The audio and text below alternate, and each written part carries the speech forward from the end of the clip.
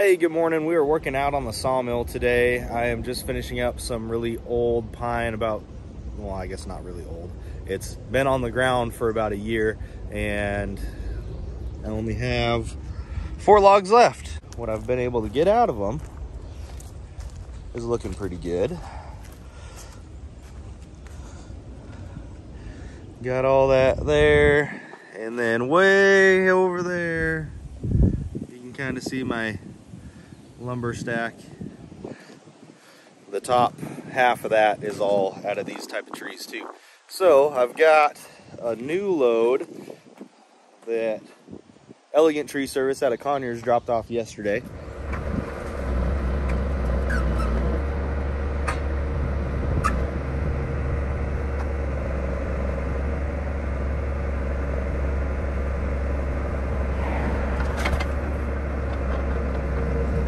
I got to finish up the pine that I've got here on the ground and then I'm going to start working on that over there.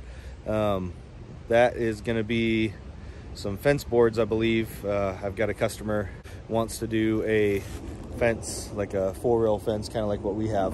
And we're going to see if we can make that happen for him.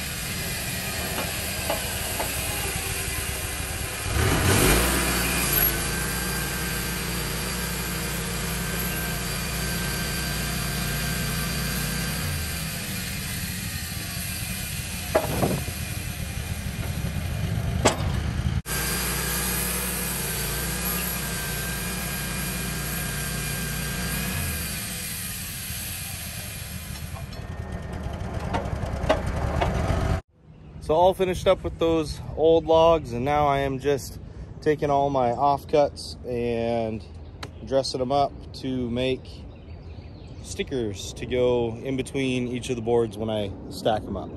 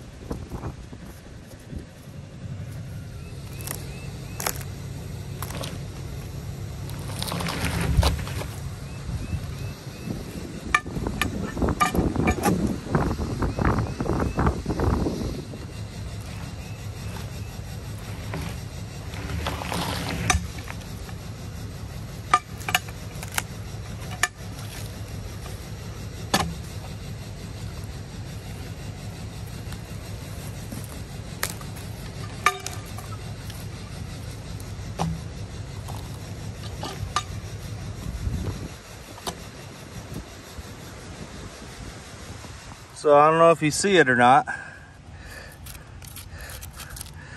but that is a relatively brand new, shiny bolt they got just drilled right into the tree there.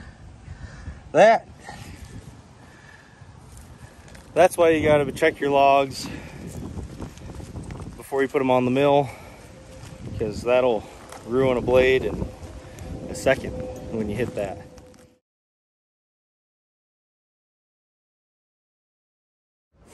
I don't have a metal detector, so I kind of just got to give them a look over as I'm rolling them, getting them put on the sawmill, check them for any kind of metal I see.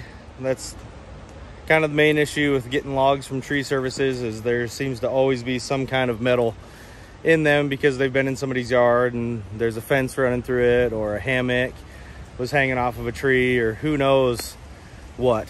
But just something to keep an eye out for. I'm glad I caught that one before I hit it with the blade.